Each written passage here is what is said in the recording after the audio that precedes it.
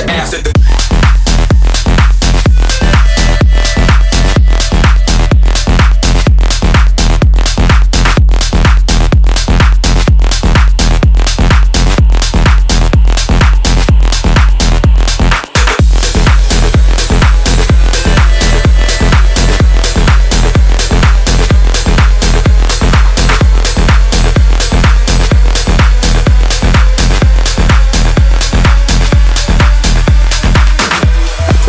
dance at first.